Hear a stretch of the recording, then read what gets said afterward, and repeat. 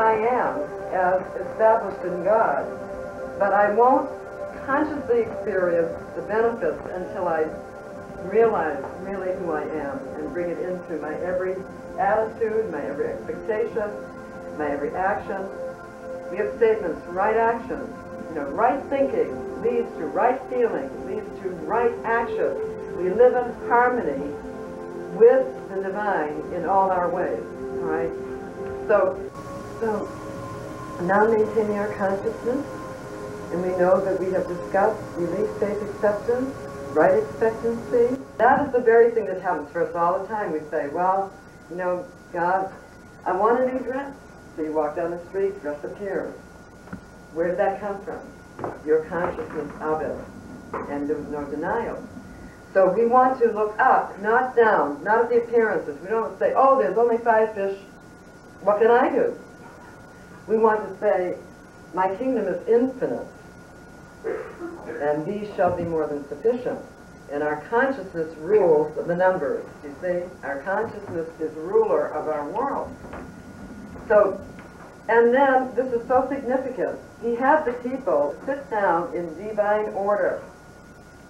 You know, they weren't looking. He had them sit down in divine order in groups to receive. So this is the whole process. We ask, we affirm our relationship, our divine right. There was no question. Jesus didn't say, "Actually, I want, I'm worthy." No, he's the royal son, and he knows it, and you must know it. And you know, so come, so keep that sequence in mind when you're going after something that you love. Remember your entitlement, and don't forsake what every any good that you should have. You should have, okay, and ask. Practice receiving, practice the sequence within your inner body so that you get in the rhythm of that expectancy. And forget about all the naysayers. It's a distraction from what is true. Don't you realize that's just power play? If I can keep you down, I can control you and run you. And originally, all these ideas of lack and limitation were, you know, pretty much just mesmerized into the minds of people. It has nothing to do with the divine reality and everyone's right to be free and to enjoy and to manifest and to ask and to receive. Now, one of the things I just want to say here is that if there's ever such a name as Satan, we know it's not a person, not, but it is a, a, a, a toxic energy, would be fear and guilt. So this is why I explain to you why Christ always said, Jesus said, we say, thy sins are forgiven thee. And He didn't mean, you know, what he meant really is that whatever has gone in, on in the past does not matter. You know, sins are mistakes. They're not crimes. They don't have to be at the level of crimes. They're mistakes of consciousness. So I sin against myself when I think in terms of lack or limitation, don't I? You know, and that sin means missing the mark. It's an archery term, originally, right? But, so, he, he taught us compassion. He, he demonstrated compassion. Even to the criminal on the cross, he said, this day you shall be with me in heaven. Not you're going to have to go pay penalties and so on. So why do we have forgiveness and why must we use it all the time? Releasing the past, forgiving the past, forgetting it, becoming innocent again, letting go, so that we will allow ourselves to prosper, to move forward. If we harbor guilt, if we harbor fear of any sort, guilt and fear, we will sabotage ourselves and will not allow ourselves to prosper. So Jesus came to free, not to imprison. He said, God doesn't care what you've done. You know, so long as you change your consciousness now, you may have the kingdom. And we have story after story of the compassion. Even the devil, or so-called, you know, say that aspect of ourselves draws its power, draws its power from on high. And God would be very well pleased if he would have a transformation.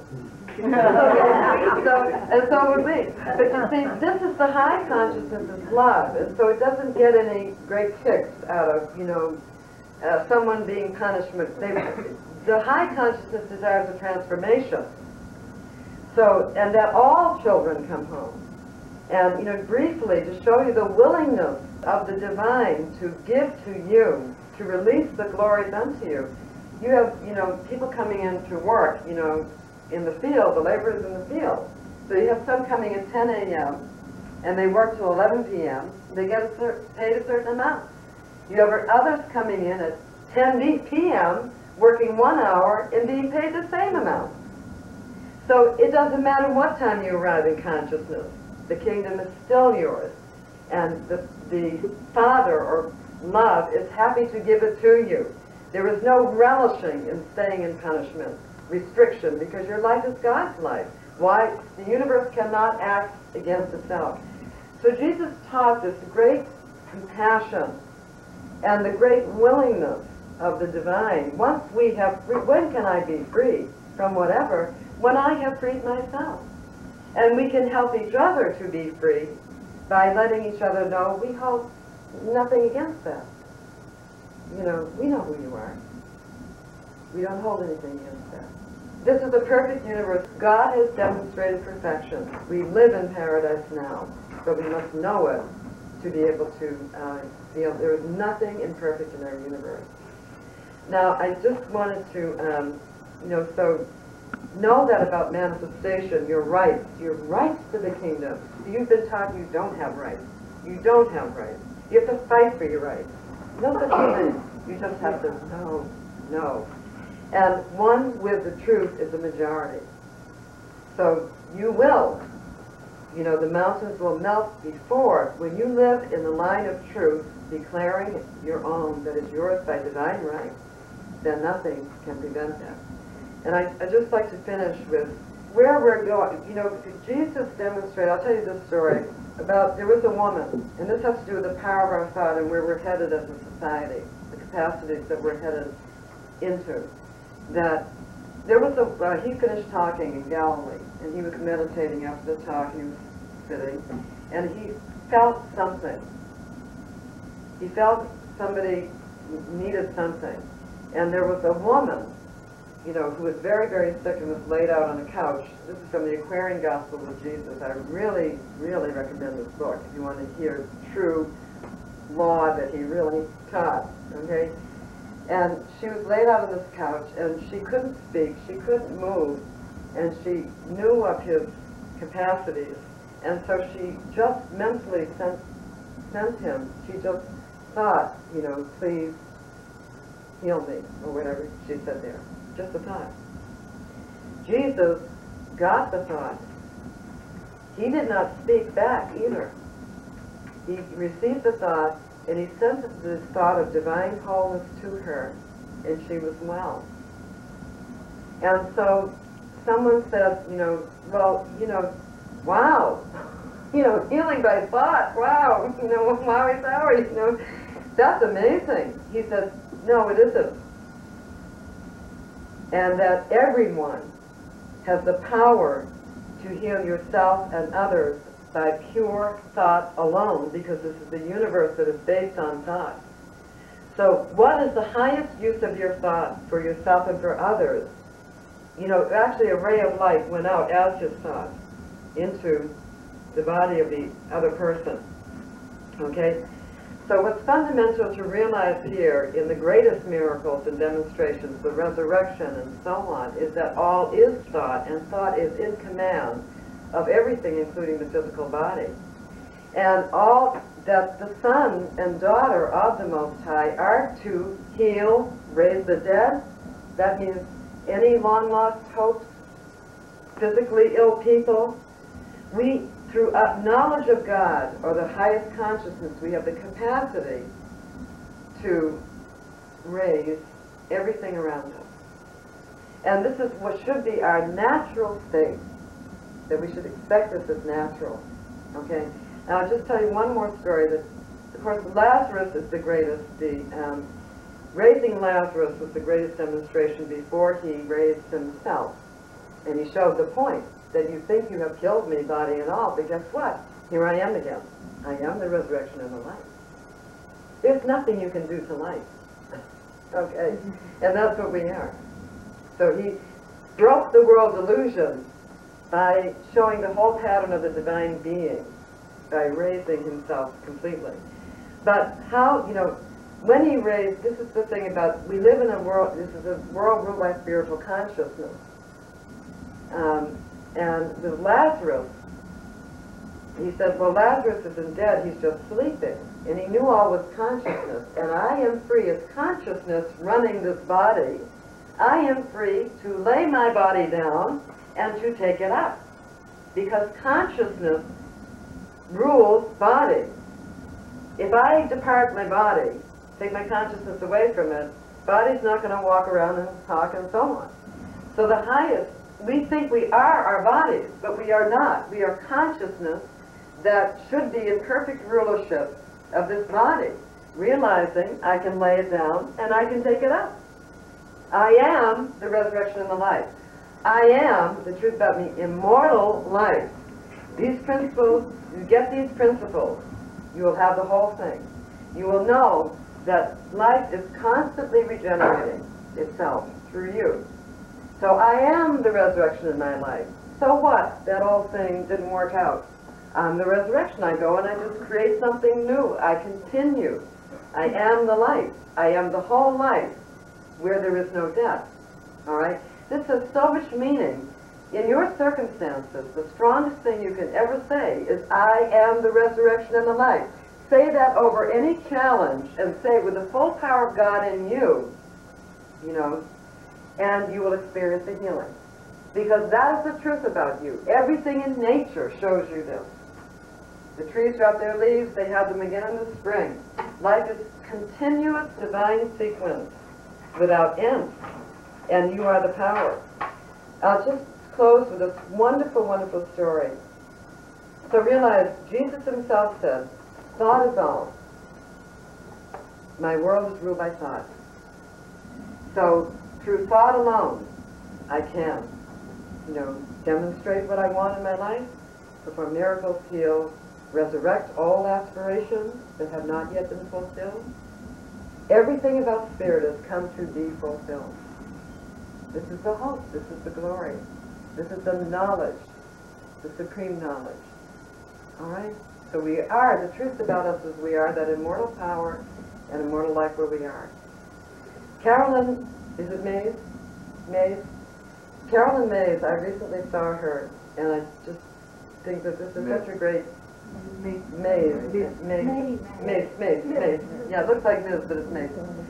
Um, she told a wonderful story on television.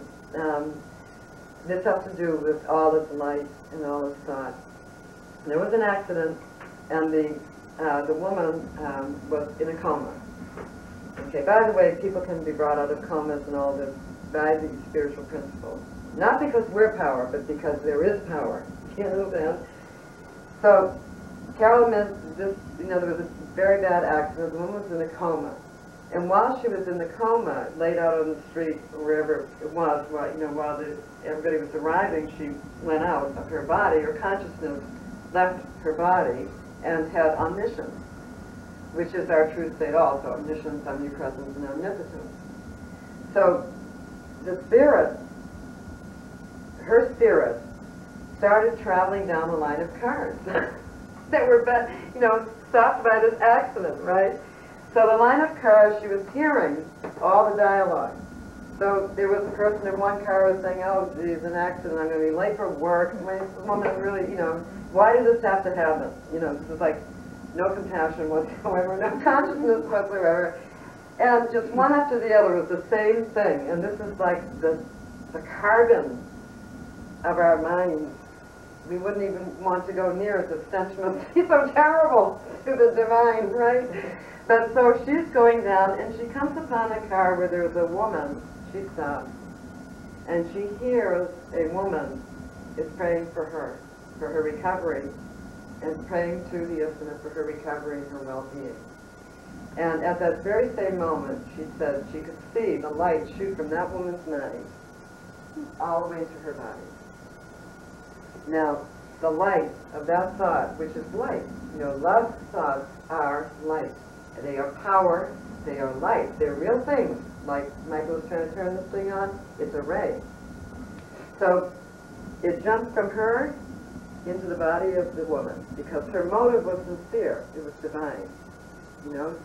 And it, it did later on, um, the woman woke up, you know, came out of the coma, went to the hospital and so on. And while she was in her omniscience, she even got the name of the lady in the car. She didn't seek her afterwards. It was while she was in her omniscience. She got her name and and maintained the name. So then later on down the line, when she's well, she uh, tracks down this woman. She buys flowers for her, and she brings them to her door, and she says, "Thank you for being with me in my time of need." So this is your transcendent power. If you could contemplate upon the greatness of this, of your thought. And I have infinite stories, just so many wonderful ones. See, so this is a spiritual universe. We see the matter, you know, the body, the matter, the stuff. I can touch the couch. But do we see into this universe? Do we see what's really happening? You know? So when you think your thought is a, is a being of divine intelligence that is going somewhere doing something, all right, so we always want it to be achieving what we would imagine to be the divine purpose at any time, that, you know, which is good, being perfect. So I'm going to have to let you go now. And I just very much give thanks for everyone being here today, to my wonderful practitioners and what there's no other teacher that makes such demands as I do. and they do so great. So so Marie, Dorothy, and and Margaret, thank you for your superb work.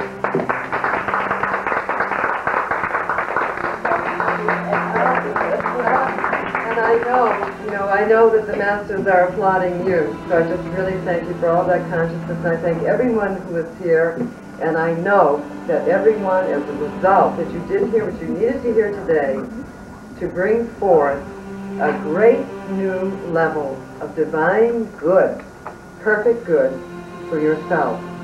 To bring forth a great new level of the divine idea of good for you. That means the most lustrous, perfect, wonderful idea that all the powers of the universe support you in this liberty. So be it.